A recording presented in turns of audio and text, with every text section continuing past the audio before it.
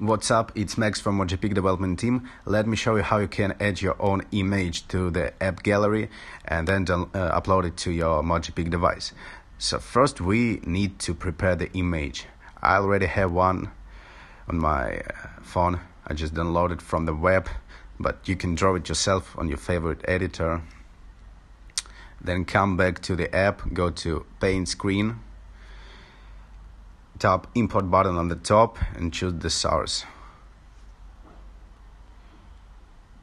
Alright then just import.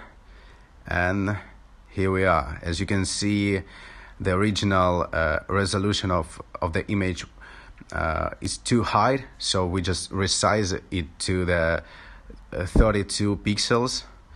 So if you if you create the image yourself uh, it's better to use exactly this resolution I mean uh, 32 pixels. But now we just save it to our gallery.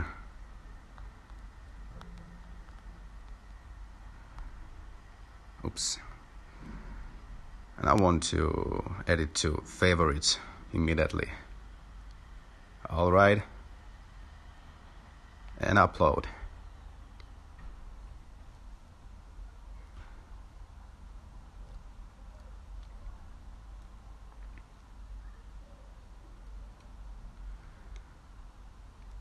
Yep, let's check how it looks like.